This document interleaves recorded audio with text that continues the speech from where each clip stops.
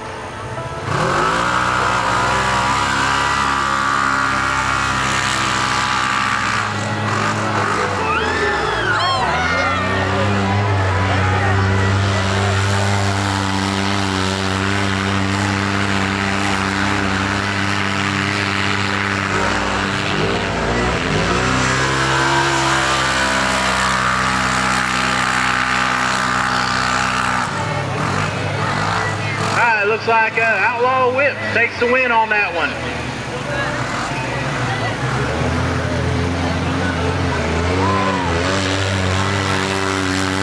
All right, Mike Slinger's about to come down, make that, make an exhibition run, and we've got uh, one more side by side. Going to run that out.